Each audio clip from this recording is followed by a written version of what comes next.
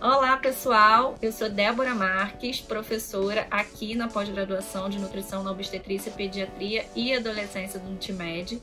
É, e hoje vim compartilhar com vocês um assunto que eu adoro, que é a introdução alimentar, é, e que eu fico responsável por esse tema na pós. E aí eu escolhi falar sobre as fases da introdução alimentar.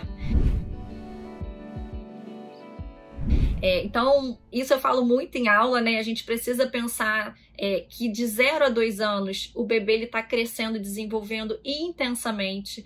Então, por isso que dentro desses dois anos a gente vai ter ali três recomendações nutricionais diferentes. É, primeiro, é, de 0 a 6 meses, a recomendação é que seja somente leite materno exclusivo. É, e aí, a partir dos seis meses, a gente continua o aleitamento materno, até dois anos ou mais, mas a gente começa a dar início a essa introdução da alimentação complementar. E aí, o que, que eu preciso observar nesse primeiro momento? Para eu poder dar início com segurança, eu preciso observar sinais de prontidão.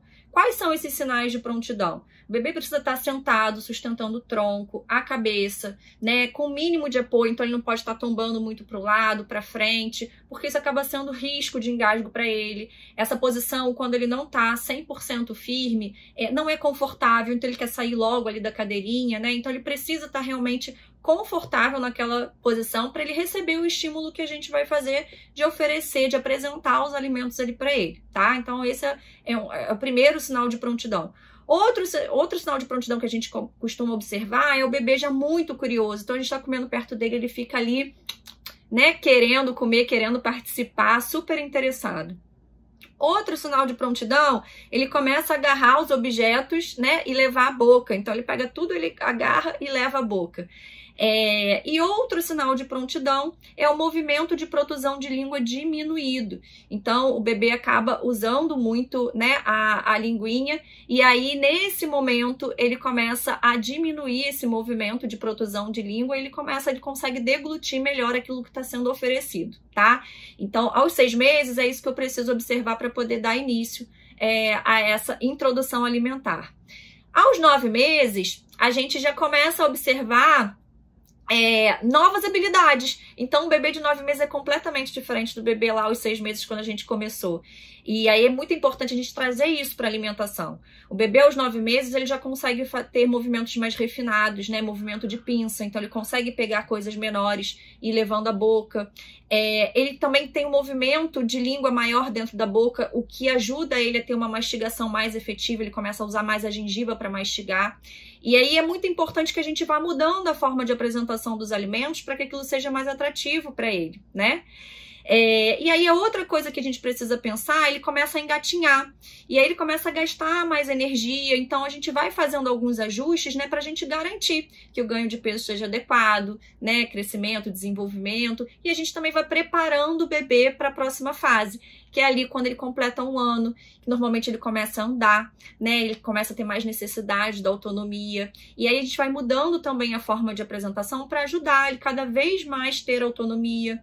A gente começa apresentar alimentos é, processados, né? Mas a gente sempre vai priorizar o que é in natura. A gente começa a abrir espaço para alguns processados, onde eu consigo ler a lista de ingredientes e é, identificar todos os ingredientes como alimento. E eu continuo excluindo o que é ultraprocessado, tá? Então, é, é, essa é uma coisa que também é importante a gente falar ali é, na recomendação para os pais, né? Na orientação para os pais, quando o bebê completa um ano, que eu vou começar a abrir espaço para alguns processados, tipo é, alguns pães mais saudáveis é, queijo, iogurte, né, derivados de leite, eles podem começar a entrar ali na rotina de alimentação da criança, porque a necessidade de cálcio também aumenta, é, necessidade de sódio também aumenta, então eu começo a colocar o sal de adição na comida do bebê, tá? Mas eu, eu continuo excluindo os ultraprocessados, que são aqueles alimentos que são ricos em aditivos alimentares e excesso de sal. Então, até dois anos, eu vou tentar ajustar ao máximo o cardápio ali da família com o cardápio do bebê,